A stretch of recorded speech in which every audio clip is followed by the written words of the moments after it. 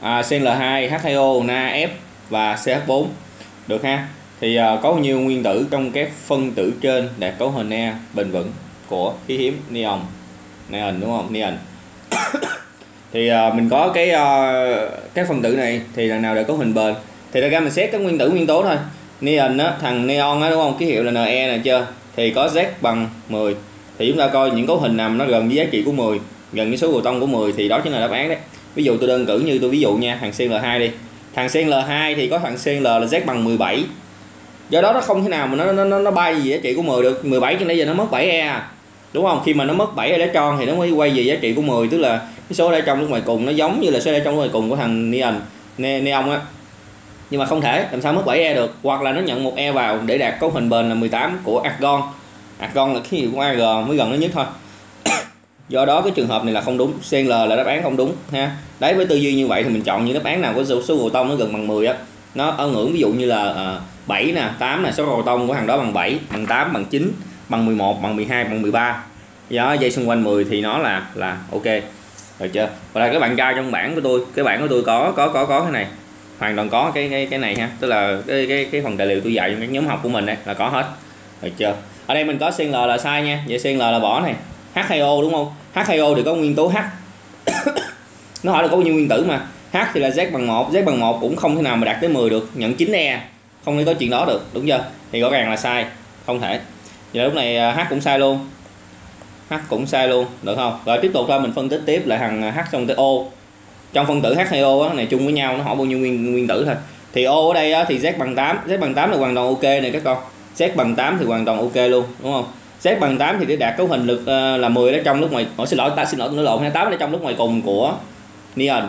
Uh, neon á thì lúc này nó sẽ nhận vào 2E và dạ, hoàn toàn hợp lý luôn. Oxygen sẽ nhận vào 2E để đạt cấu hình bền của thằng neon. Do đó oxygen là đáp án đúng nha. Tôi rồi đóng u vuông lại nha thằng này chính xác nè. Rồi mấy hàng sai thì thầy đánh chéo đi ha cho nó dễ. CL là sai H là sai nè. Rồi tương tự tới ông ờ, tới những thằng khác thôi. Mình làm tương tự. Ví dụ như tới phân tử na f đúng không? Na f thì có thằng Na NaF thì có thằng Na Na thì uh, Z bằng 11 Thôi hay lý bể bài chọn không phải né nàng đúng không? Nàng nàng là natri sodium. Nàng Na rồi Na là Z bằng 11 Z bằng 11 này để đạt thành 10 đúng không? 8 ở trong lúc ngoài cùng của hàng neon đó là thành 10 ở trong tổng đấy. Thì lúc này nó sẽ nhận vào một e. À đúng giờ. À xin lỗi nó sẽ mất đi một e. Tôi tôi viết lộn tôi viết nhanh của tôi lộn đấy. Này là mất đi một e nha mất đi một e. Tức là mất đi một e thì uh, sodium nó sẽ có cấu hình ở trong bình vững của khí hiếm neon. Được chưa? Do đó Na là đáp án hoàn toàn chính xác. Na là đúng nha.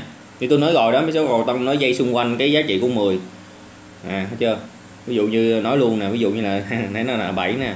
8 nè, số cầu tông á. 7 8 9 11 12 12 và 13 đấy, thường là thường là nhờ, thường là 6 thằng này. Chính là cấu hình của thằng neon neon nếu như nó tham gia liên kết khi mà nó tham gia liên kết nha, tôi nhớ lại, khi tham gia liên kết thì nó sẽ đạt con hình của khí hiếm gần nhất là neon thì cái dây xung quanh số 10 này, các con thấy không? 789 nó sẽ gần số 10 11 12 13 cũng gần số 10 luôn. Đấy, nó là gì?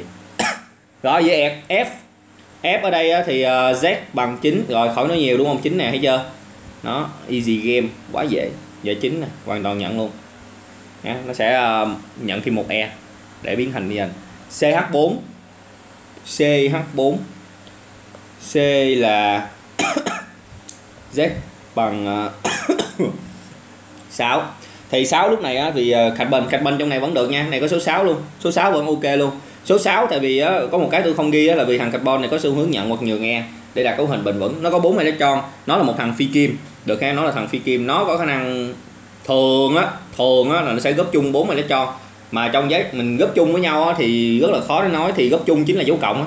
góp chung chính là dấu cộng. Mình bảo là khách bình nhận nghe cũng được đó, cách bình nhận e cũng được nhưng thật ra nó đúng ngữ nghĩa thì nó không phải là nhận mà là góp chung e trong cái nhận nhường ở đây của chúng ta về mặt khoa học á, thì cái nhận nhường này nhận có nghĩa là tôi nhận hoàn toàn nó cho từ cái thằng nào đó. Tương tự tôi nhường là tôi nhường hoàn toàn nó cho thằng đó tôi là mất luôn e còn thằng cạch bình đó thật ra không phải dùng từ nhận mà nó là từ góp chung. Góp chung nó giống nghĩa với nhận nha. Nói chung là càng phân tích thì nó sẽ càng dễ bị điên á vì sao em điên đúng không? Như đó thì uh, hầu như các bạn nắm luôn thằng thạch bình này vẫn ok ha. Thằng thạch bình nó sẽ nhận vào nó xin lỗi nó dùng từ nó gấp chung hạt thạch bình sẽ góp chung 4 electron với uh, mỗi 4 electron với 4 nguyên tử H để hình thành phân tử CH4 trong đề đó thấy chưa? Thì lúc này hạt thạch bình vẫn là một thằng sở hữu cái uh, cấu hình ở trong bền của khiếm Neon đó bán chính xác của chúng ta là bốn thằng. Thì dùng thạch bình thì nó sẽ nó hơi khó về mặt giải thích tí xíu. Được ha tức là thạch bình 6 sẽ nhận thêm 4 e. Nó sẽ nhận thêm 4 e. Chính xác là tôi nhắc lại là góp chung 4 e. Góp chung 4 e chứ không phải là nhận 4 e. Nhưng mà những ghi bằng dấu cộng góp chung nó vẫn là dấu cộng ha, góp chung góp chung góp chung. Rồi ok. Nó, nó hơi khó. Nói chung làm trắc nghiệm mà. Vậy là câu này đáp án chính xác chúng ta là câu D. Câu D.